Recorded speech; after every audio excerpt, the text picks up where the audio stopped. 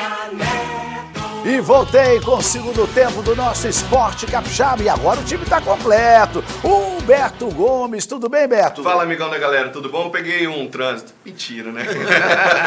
feriado, tem trânsito nem. Mas não é tá? feriado hoje não, companheiro. É, muita gente trabalhando. muita gente em É. Brasília, companheiro não. Mas vamos lá tocar o barco aqui, amigão da galera, tudo bom? Vi que vocês falaram, né, do Capixabão, teve, Teve a enfim, festa. premiação, festa, muitas coisas e vamos tocar o barco por aqui. Humberto Gomes, vamos agora falar a onda do futuro, Humberto. Na Onda do Futuro é um projeto social bem bacana, idealizado e projetado é, pelo surfista, ex-surfista profissional Juliano Molinha. Acontece lá na praia de Jacaraípe. Nós temos imagens desse projeto. Atende 70 crianças, Ferreira, e tem oficina de capoeira, de artes, de surf, enfim, de várias modalidades. E o Juliano vem falar conosco aqui. Ele fala do projeto e também de como faz para participar para aquela galera da região da Serra Ferreira. Então vamos acompanhar, simbora. Projeto Na Onda do Futuro, de Jacaraípe. Atendemos 75 crianças, temos oficina de capoeira, educação ambiental, surf, teatro, dança.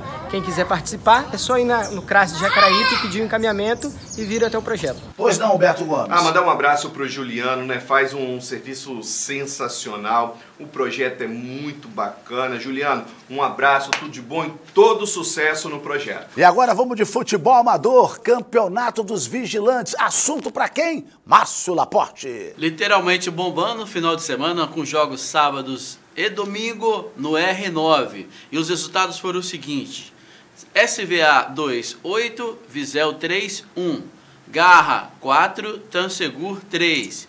JF 3, SEI 2, 0. No domingo, tivemos Visel 1 vencendo a Visel Independente por 8 a 3. Plantão 1 venceu por 6 a 4 o Plantão 2. A Sego Pro venceu por 4 a 3 a SVA 1. E o G4S 1 Esquadra 3. Esses foram os resultados do Campeonato de Vigilante, Ferreira. E morreu ontem o ex-lateral esquerdo e também lateral direito, Rodrigues Neto, né, Jorge Boeri? Verdade, Ferreira. Rodrigues Neto, ele é mineiro de Mantena, mas iniciou no futebol, no Vitória Futebol Clube, aqui do Espírito Santo.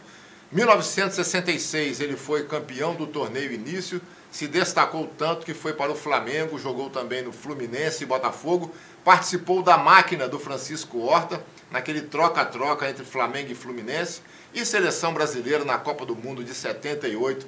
Rodrigues Neto atualmente era empresário de futebol e também foi técnico do Rio Branco, a família, os nossos sentimentos, uma referência no jogo das laterais. Aquele lateral mais conservador, mas que também sabia ir ao ataque e marcava bem.